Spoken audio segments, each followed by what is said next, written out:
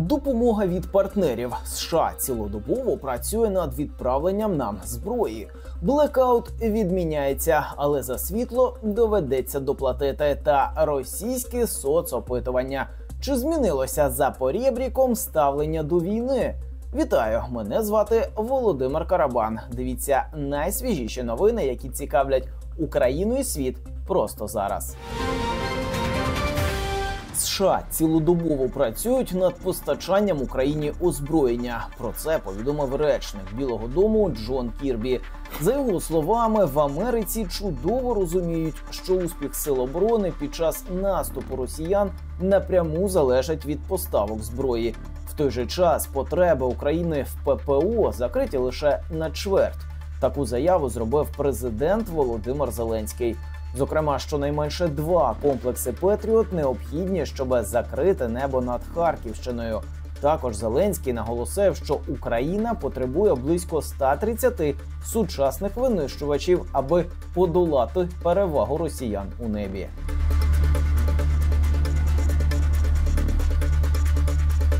Водночас перевагу на воді нам допоможе забезпечити австралійський пакет допомоги на суму у 100 мільйонів доларів.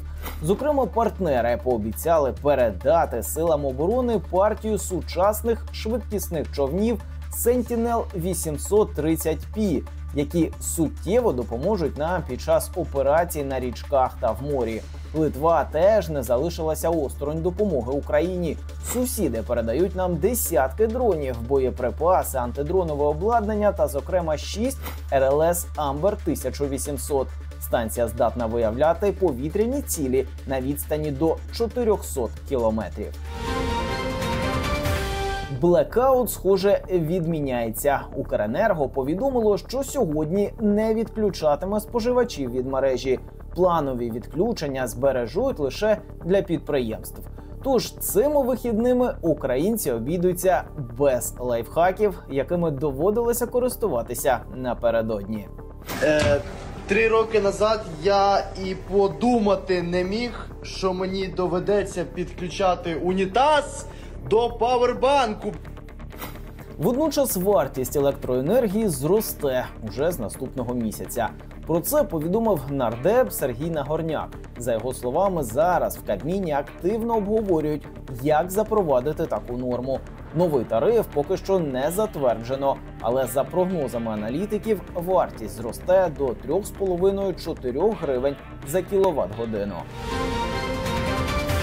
Тим часом тема перемовин України із Росією ніяк не йде зі світових шпальт.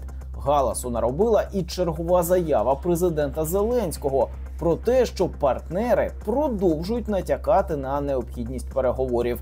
Чи може це відбутися, та на яких умовах Україна готова про щось говорити? Далі у сюжеті. Президент України Володимир Зеленський поспілкувався з представниками змі. Резонансним стало твердження президента про те, що партнери України негласно пропонують задля миру поступитися територіями. Партнери не штовхають нас. Хоча мені здається, що в атмосфері світу це є. І тут нам потрібно бути просто дуже стійкими і сильними. І обраний сьогодні правильний майданчик, де у нас є ініціатива саміт миру. Дійсно, деякі європейські політики публічно говорять про те, що вони готові підтримувати Україну до кінця, про те, що не готові йти на будь-які компроміси, а самі тим часом в таких кулуарних, в неформальних зустрічах намагаються цей наратив просунути. І є от ця історія з тим, що європейські країни вони хочуть повернутися до а, життя от, до повноштабного вторгнення, і це дуже схожа історія з тією, яка була напередодні Другої світової. Вони намагаються зам'яти російську агресію поступками у вигляді того, щоб віддати тимчасово окуповані українські території.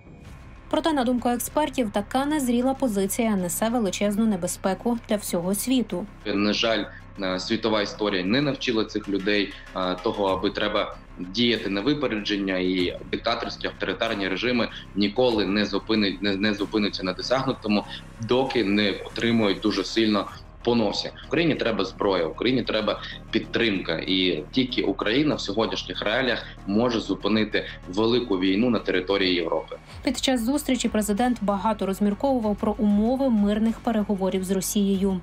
На сьогодні ґрунт має бути для того, щоб Путін шукав так само вихід з цієї ситуації, бо зараз у нього немає дискомфорту, тому що куди ми стріляємо, що ми можемо атакувати, чим. Наскільки економічно нам будуть допомагати? Санкції дотиснемо, не дотиснемо. Трибунал буде, не буде. Треба відповісти собі на кожне з цих запитань і щодня працювати і просуватися по кожному цих напрямків. Дійсно, Україна зараз не у вигідному становищі. В той же час росіяни використовують новий наступ на Харківщину як ще один аргумент погодитися на їхні умови. Окрім прямих військових цілей, так само російське вторгнення в Харківську область вже вдруге.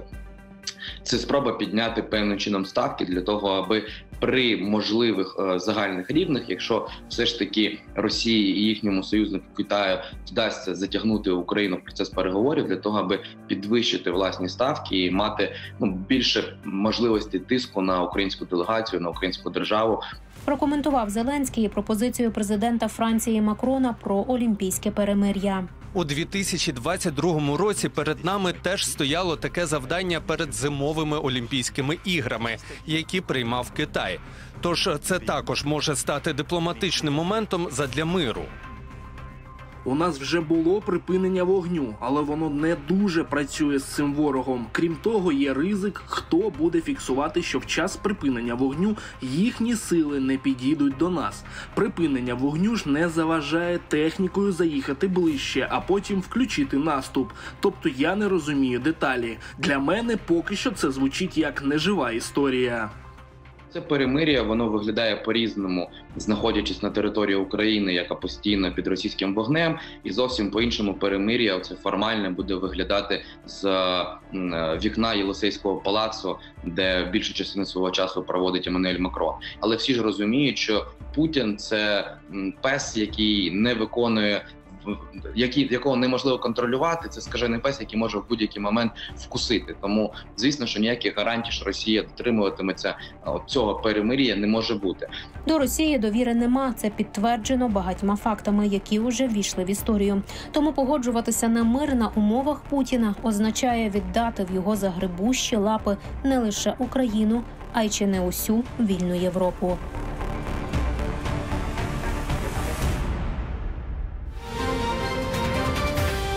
Ніч шукали іноземців, щоб їх відлупцювати. В столиці Киргизстану сотні молодиків влаштували справжнє полювання на приїжджих. Попередньо причиною стала бійка між місцевими та студентами з Єгипту і Пакистану, яка відбулася напередодні. Тож мешканці Бішкеко вийшли на вулицю, щоб так би мовити, помститися за своїх.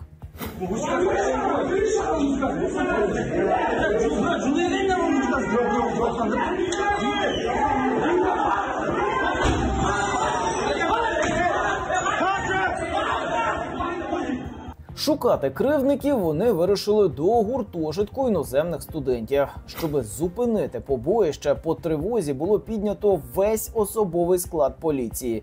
Після перемовини з протестувальниками їм повідомили, що студентів іноземців, які вчинили бійку, було затримано, і люди потроху почали розходитися. А от в Росії таких демонстрацій чекати не варто. Там всі всім задоволені. Принаймні за результатами соцопитування. Черговий аналіз суспільної думки щодо участі РФ у війні провели соціологи, як і раніше, підтримка Путіна колосальна. Щоправда, вдвічі зросла кількість охочих сісти за стіл переговорів. Тож, що сьогодні росіяни думають про війну, і чи може в цілому вірити опитуванню в умовах диктатури? Далі у сюжеті. Абсолютна більшість росіян не згодні повертати Україні захоплені території задля миру. Не секрет, що жителі Росії підтримують війну з Україною, проте вони схвалили б рішення Путіна припинити її за умови, що захоплені території повертатися не будуть. Про це відомо з опитування, яке вже не вперше провели Левада Центр з 18 по 24 квітня цього року серед майже двох тисяч осіб. Надо понимать, что россияне живут в диктатуре, и, соответственно, они э, боятся честно отвечать на вопросы. Если люди имеют антивоенные взгляды, зачастую они боятся даже на соцопросах говорить а, то, что они думают, и поэтому, конечно же, а, цифра всегда будет занижена. Э, они начинают, как опять-таки это часто бывает в диктатуре, э, давать те ответы, как им представляется социально одобряемые. Частка тих, хто підтримує продовження війни, майже не змінювалась порівняно з минулою статистикою. Зараз таких 39%. А от частка жителів Росії, які виступають за мирні переговори, збільшилась таких близько половини. Тобто 51%. Чем дольше длится война, тем больше растут антивоенные настроения. Это было так всегда. Если мы будем вспоминать происходящее больше, чем сто лет назад, я имею в виду Первую мировую войну, там, когда начиналась Первая мировая война, был дикий в Российской империи патриотический подъем, который закончился, как мы знаем, двумя революциями, потому что первая революция не смогла решить вопрос о мире, поэтому произошла вторая. Именно потому, что долгая война, а, большие потери, непонятно с какими целями идет война. Хто ж можуть бути ці 39% людей, які позитивно ставляться до війни з Україною? Основная часть людей, которые выступают за войну до победного конца, то, что называется, это, конечно, люди пожилые. Опять-таки, я не хочу сказать, что э, все пожилые настроены за войну. И особенно это э, те люди, которые, э, собственно, переживали Вторую мировую войну сами, там, будучи детьми. Но в целом все равно, конечно, э, люди пожилые, люди, которым самим э, мобилизация не грозит, которые не могут сами попасть под эти жернова войны, они чаще поддерживают э, войну, чем люди молодые и, э, собственно, э, антивоенные настроения среди молодежи, условно говоря, до 30 лет, они максимальные были с первых дней войны. Цей експеримент проводився півроку тому. Його суть полягає в тому, аби опитувач та респондент знаходились сам на сам в комфортних умовах для опитуваного. Таким чином, під час особистого інтерв'ю є більша вірогідність того, що респондент буде казати правду. Чи правда це не про росіян? На мой взгляд, не насколько. Потому что сейчас э, количество доносов в России настолько велико, что донос может э, прилететь, если ты что-то написал в домовом чате, например. Поэтому э, любой человек э, может, э, соответственно, любого опрашивающего, опрашивающего подозревать в том, что на самом деле какой-то человек, который сначала этот опрос проведет, а потом все эти данные вместе с его фамилией и номером квартиры отдаст в Центр по противодействию экстремизму. Експеримент показав, що більшість опитаних, а саме 71% підтримали б рішення Путіна про завершення війни, умовно кажучи, на цьому тижні. Проте, якби Путін вирішив припинити війну за умови повернення захоплених територій, то в такому випадку його підтримало б 30% росіян, а це на 4% менше ніж в минулому експерименті. Чому цей відсоток зменшується? Показывают якобы, да, что идет якобы восстановление, да, вот это все картинки, вот мы восстанавливаем Мариуполь, а вот, так сказать, какие мы молодцы. Поэтому эта пропаганда тоже работает. Им кажется, что уж раз начали, то надо заканчивать, а чтобы это считалось победой, території повинні остатися. Чи буде цей відсоток росіян, які за те, щоб припинити війну і повернути території, зменшуватись і надалі? Не обязательно, потому что все равно будет всегда оставаться ядерная аудитория, да, которая э, понимает, что, так сказать, это невозможно.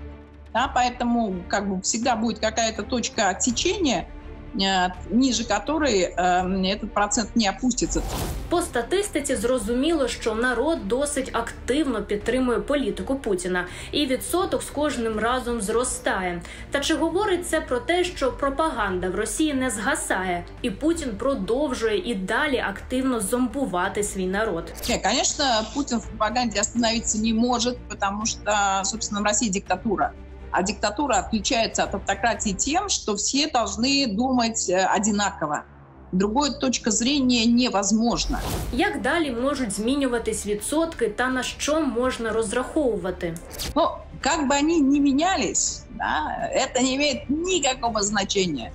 Потому что, собственно, сегодня вопрос о власти в России не решается с помощью выборов. А проценты имеют э, значение только тогда, когда в стране существуют выборы, когда существуют кандидаты, которые, когда существуют партии, за которые можно проголосовать э, за одних или за других. Когда всего этого нет, когда в стране диктатура, э, проценти не мають ніякого значення на самом деле. Проте насправді не так важливо, що думають і відповідають під час опитувань росіяни, оскільки як би там не було, Україна поверне свої території, і збройні сили України на фронті все сильніше наближають перемогу України та програш Росії.